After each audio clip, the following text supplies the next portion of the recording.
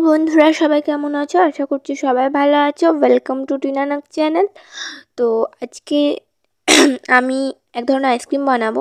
তো তোমরা প্রথমে দেখতেই পেয়েছ, আমি তরমুজটাকে ঘষে ঘষে রসটা বার করে নিয়েছি। তারপর দুধ চাপিয়েছিলাম, দুধটা একটু ফোটার পর চিনি দিয়েছিলাম।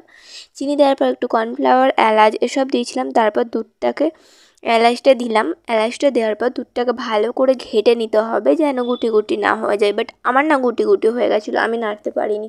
তবে সেটা আমার দোষ, তোমরা যখন করবে, গুটি গুটি যেন না দাঁড়াই তেমনভাবে করবে। তারপর একটু আমল দুধ দিয়ে দিলাম যাতে একটু টেস্টি হয় আইসক্রিমটা খেতে। তো আমুল দুধটা দেওয়ার পর ভালো করে নাড়াতে হবে। অনেকক্ষণ ধরে নাড়াতে হবে বাট আমি নাড়াতে পারিনি। এবার অনেকক্ষণ ধরে নাড়লে কি বলো তো ওই গুটি গুটিটা দাঁড়াবে না।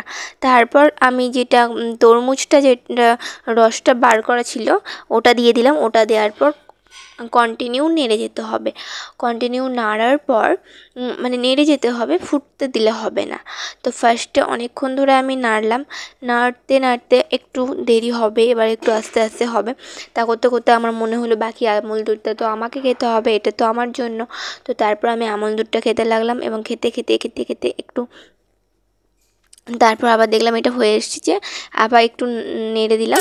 এবার ওটা কন্টিনিউ নাড়তে হবে। তারপর বাদাম গুঁড়ো করা ছিল।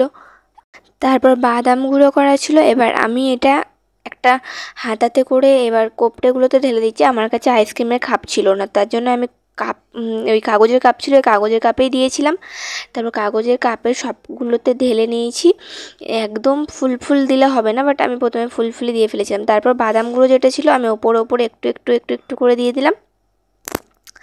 একটু একটু একটু একটু করে দিলে টেস্ট হবে আইসক্রিমটা বাদামটা দিলে। তো তারপর বাদামটা দেওয়ার পর এখানে আমার কাছে ছোট ছোট চিকচিকি কাটা ছিল, সেটা গার্ডার দিয়ে এঁটে দিলাম। তারপরে কাজ হলো ওই ওই যে, ওই চামচগুলোকে ভরে দেয়া। ওটা হচ্ছে কাঠি। তো আমার কাছে কাঠি ছিল না, তাই জন্য আমি চামচ ভরে দিয়েছিলাম কাঠের। তো সেগুলো এবার ফ্রিজে ভরে দেওয়ার পালা। তো আমি ফ্রিজে ভরে দিয়েছি। তারপরে এবার খাওয়ার পালা। তো এখন থাকবে কিছুক্ষণ, দুপুরবেলা এসে খাব, দেখা যাক কী হয়। এবার দুপুর হয়ে গেছে, ঘুম থেকে উঠে গিয়েছি। ঘুম থেকে ওঠার পর আমার আইসক্রিমের নজর। এবার আইসক্রিমটা খেতে হবে। এবার আইসক্রিমগুলো দেখে নিই। আমি তো খুব এক্সাইটেড ছিলাম আইসক্রিমগুলো খাওয়ার জন্য। তবে এখন দু দু, একটা বুনি আর আমি খাব। তো দুটো নিয়ে নিয়েছি, একটা একটা করে আর বাকিগুলো ফ্রিজেই থাকল। এবার চলো খোলা যাক। তো এবার খুলে নিয়েছি। প্যাকেটটা ঘরেরটা খোলার পর প্যাকেটটা খুলে নিলাম। এবার আইসক্রিমটা একটু ঘুরিয়ে দেবে, তাহলেই চট করে খুলে যাবে। একটু ঘোরানোর পর খুলে দিয়েছি। আমার কাছে কালার ছিল না, তার জন্য রেডটা হালকা হয়েছে। দুধ দিয়েছিলাম তার জন্য। আমরা তোমরা দুধ ছাড়াও করতে পারো। এবার খাবার পালা বনুকে বললাম, টেস্ট কর, দিয়ে দেখ। ওকে আমি বললাম, টেস্ট করতে ও যেমন এক্সপ্রেশন দিতে হয়, একটা দিয়ে দিল। আমি বললাম, যেটা সত্যি সেটাই বল।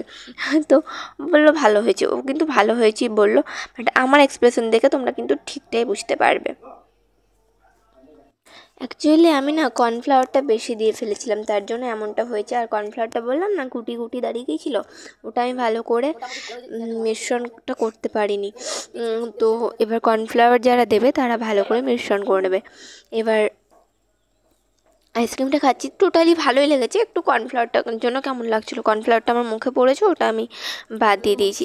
আমার কেমন গোল গোল গোল গোল হয়ে গেছিল কর্নফ্লাওয়ারটার জন্য। তো যাই হোক, ভালো হয়েছে, তোমরাও চেক করে দেখতে পারো। আর ভিডিওটা যদি ভালো লাগে, তাহলে তো কী করতে হবে তোমরা জানো। আজকের মতো টাটা, দেখা হবে নেক্সট ভিডিও দিয়ে